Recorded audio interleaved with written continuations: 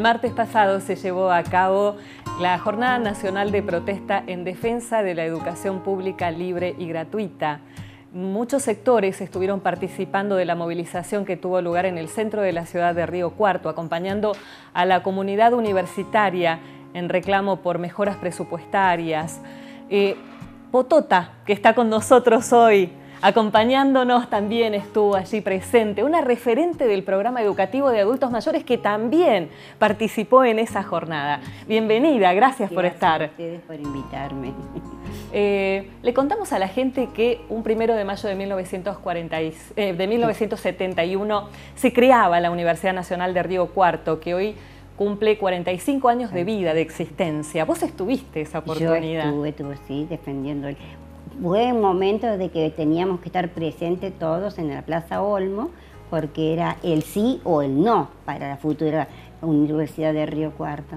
Y fue una explosión cuando se dio el sí, tanto que esperamos con el presidente Lanusse, tanto que esperamos, este, se dio el sí. Fue tan grande la emoción chica en ese momento, yo tenía los hijos que iban al primario, este, vos no sabías, gritaba, lloraba, te abrazaba, era todo un, un holgueo bárbaro en la Plaza Olmo, hasta cuando estuvimos casi tres horas y media ahí paraditos.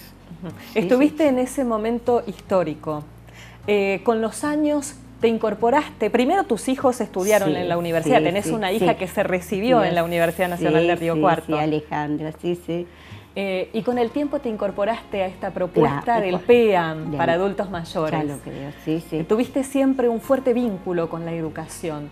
Eh, ¿Por qué la defensa de la educación pública? Porque me parece que nos corresponde, porque no todos podemos estar pagando una cosa u otra. Entonces, teniendo una universidad pública y gratuita, es para todos, no es para uno, sino es para todos.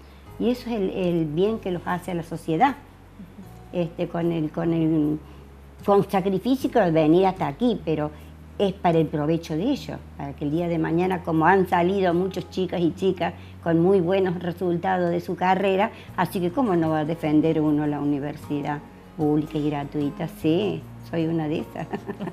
Eh, ¿Cuál es la reflexión que te merece de tu participación el pasado martes en esta movilización tan impactante que se hizo en el centro de la ciudad? Yo estaba en mi cocina y siento, le digo, por la radio, por la radio escuché que hoy era la marcha en la Plaza San Martín se salía.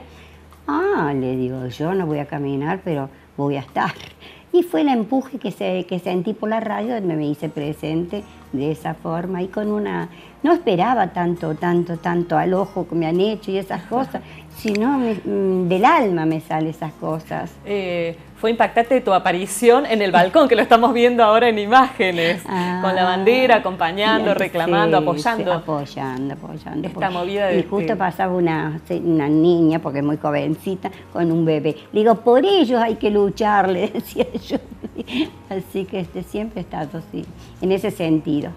Este, pues en el PEAN, ¿qué te voy a decir? Yo empecé con educación física y con italiano en italiano hice los tres años y pasé a teatro en el 2000, pasé a teatro. Así que en este momento vengo de terminar el taller del año, el de cerrar, este, de educación física. Y el 29 cerramos teatro. Eh, trajiste, tenés en ah, tus manos una revista, Mucho más por vivir, es el resultado del trabajo que han venido haciendo durante todo el año en la unidad de gestión de educación física. Sí, sí, 10 años cumple la revista. 10 años la revista. sí, señorita. ¿Y, qué podés contarnos? ¿Cuál es el balance que podés hacer de estos 20 años de participación en un programa que sale de puertas hacia afuera del campus universitario y, e incorpora a otro sector de la sociedad a la educación pública y gratuita? Y mira, el comentario mío es espectacular en el sentido de cómo lo siento yo. Este, me gusta transmitirlo porque necesitamos la gente grande una cosa como la universidad. Y cuando nos enteramos que participábamos, participábamos ya en la que éramos alumnas de la universidad, fue el orgullo más grande que hemos tenido.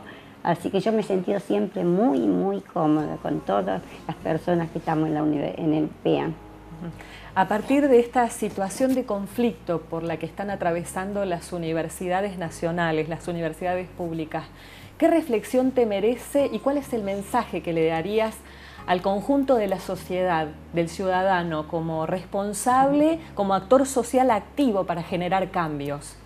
Bueno, me has hecho una pregunta bastante larga, ¿no? Pero voy a contestar Este, yo por la sociedad y para que esto se siga brindando, este, lo principal es el apoyo. Lo principal es el apoyo, porque nosotros, al sentirte tan cómoda, no podés pretender otra cosa que apoyar. Por, el, por lo que estamos, por lo que pasaron y por lo que vendrán. Que eso es una gran cosa para todos.